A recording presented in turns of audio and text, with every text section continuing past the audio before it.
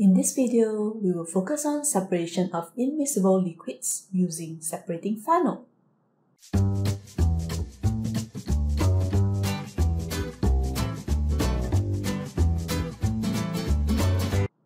We use a separating funnel to separate immiscible liquids.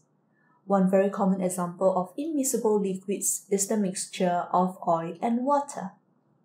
When we allow the mixture to rest after mixing, the mixture eventually separates into distinct layers of liquids. Now let's take a look at the setup for separation of immiscible liquid. Now the main apparatus is separating funnel. We will use a retort stand to support this funnel.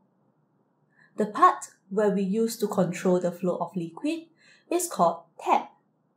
It is important to ensure that the tap is closed when you pour the mixture into separating funnel to prevent unnecessary run out of liquids.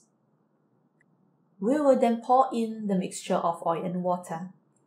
When we allow the mixture to rest, we will see two distinct layers of liquid. The yellow liquid is oil, while the blue liquid is water.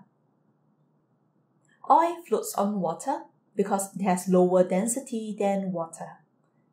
Then we will place a clean beaker below the separating funnel. Open the tap to allow the bottom layer, which is water, to drain into the beaker. Before all the water runs out, we should close the tap. This is to avoid contamination of water by accidental run out of the oil into the beaker. Place another beaker below the funnel. Allow the remaining water and little amount of oil to flow into the beaker. We do not want this mixture. Dispose. Now place another clean beaker below the funnel. Now the funnel contains only oil.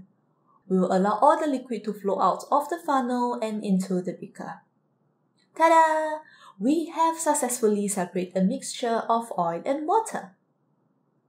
Now you know how to separate a mixture of immiscible liquids. What about miscible liquids? Now check out this video for the separation of miscible liquids using fractional distillation. If you find this video useful, do like the video and share the videos with your friends.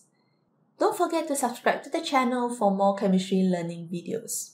If you'd like to have more chemistry learning resources, do check out my website. The link is in the description. Have fun learning chemistry and I will see you soon.